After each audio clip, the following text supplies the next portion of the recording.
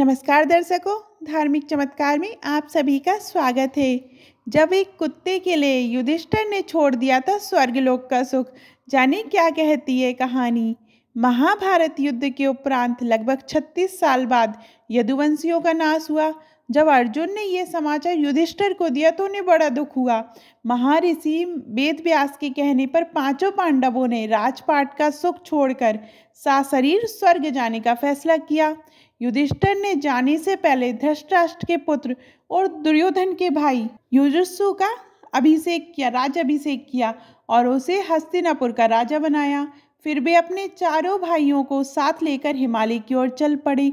सबसे पहले द्रौपदी ने बद्रीनाथ से आगे हिमालय की बर्फ़ में प्राण त्याग दिए। आगे बढ़ते बढ़ते नकुल, सहदेव, भीम और अर्जुन भी ब्रह्मलोक प्रयाण कर गए। धर्मराज युधिष्ठर एक कुत्ते के साथ स्वर्गलोक की ओर बढ़े जा रहे थे। आखिर चलते चलते वह स्वर्ग के द्वार तक जा पहुँचे। द्वारपाल ने धर्मराज युधिष्ठर के लिए दरवाज़ा खोल दिया। धर्मराज ने कुत्ते को आदेश दिया, पहले तुम अंदर जाओ। नीच कुत्ता स्वर्गलोक में कैसे जा सकता है? पहरेदारों ने उसे ये कहकर अंदर जाने से रोक दिया। धर्मराज ने कहा, इस निरीह प्राणी ने पृथ्वी लोक से यहाँ तक मेरा साथ दिया है।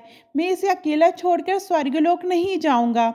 इसके बाद स्वर्गलोक के प्रमुख पहरेदार ने कहा यदि आप अपने तमाम पुण्यों के फल इस कुत्ते को दे दें तो ये स्वर्गलोक भी जा सकता है।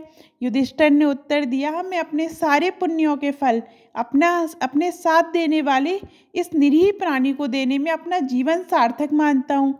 ये सुनते ही स्वर्गलोक के देवता धर्मराज युधिष्ठर की जय जयकार कर उठे।